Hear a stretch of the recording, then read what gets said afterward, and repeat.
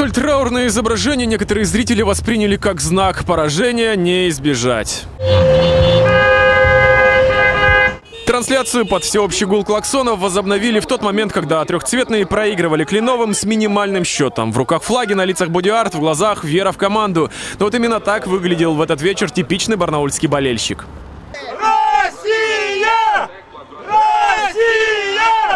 Знаменитая кричалка в фан-зоне возле торгового центра «Арена» звучала не так массово, как обычно. Подвела погода. Именно поэтому рекорда по посещаемости не случилось. Часть зрителей вовсе предпочла весь матч провести в автомобиле. Холодно.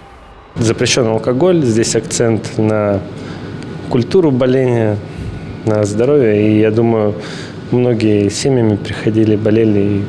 И, думаю, хорошие положительные впечатления без драк, хотя эмоций было очень много.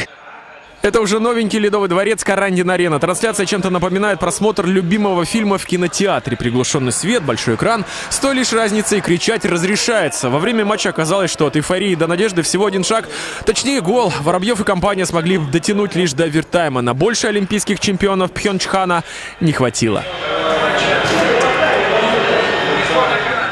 Сразу же после финального свистка болельщики с стройными рядами потянулись к выходу. Тут же договорились собраться вновь, правда, уже во время домашнего чемпионата мира по футболу.